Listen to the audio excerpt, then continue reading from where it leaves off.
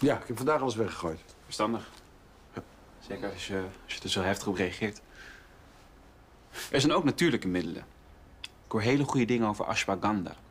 Het wordt al duizenden jaar gebruikt in de Dat is niet nodig. Dit probleem was van voorbijgaande aard. Fijn. En, eh, sorry Anton. Ik, eh, ik had Linda niet naar moeten vragen. Dat is oké. Sterkte.